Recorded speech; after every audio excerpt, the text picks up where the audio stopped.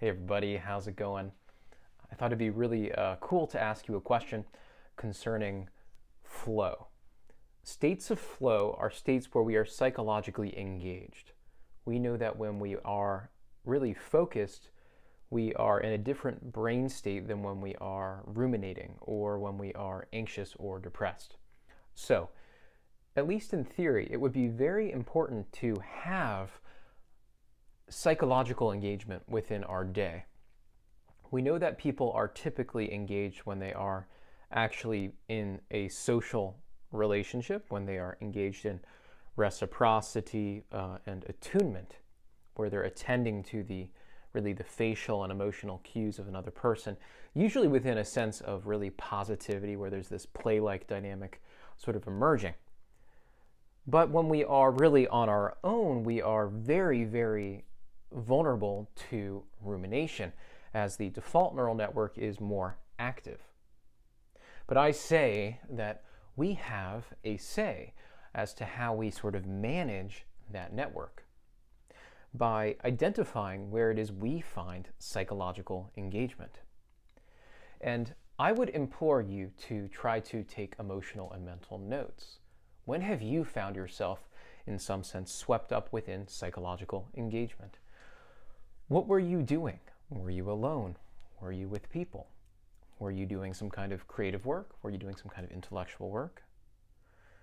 What was the environment like? Take important notes because you can start to really learn how to really architect uh, a lifestyle where you start to place yourself in situations where you do find more psychological engagement.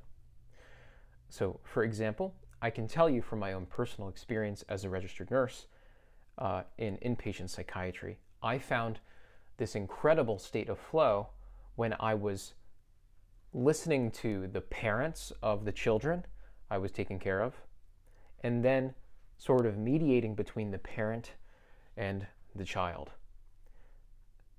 I found myself just completely, completely immersed in trying to understand the perspective of really this attachment figure. And then, of course, the child, because I, I think I am sort of wired to basically solve emotional conflict. I, I think that's like where I am called to be. And I think there, were, therein lies like my profound state of flow. And it was more of like a social role of mediating. And this is sort of in line with what we know about really the Enneagram 9 and the INFP temperament. So uh, I just want to really know if you've had a similar experience, if you are a 9, uh, wing 1, uh, idealist type of temperament, and if not, really where you have found a sense of flow in your life. I would love to hear from you with a comment. Uh, and if you find these videos interesting and you want to see more from me, you can like the video. Okay, see you soon. Bye bye.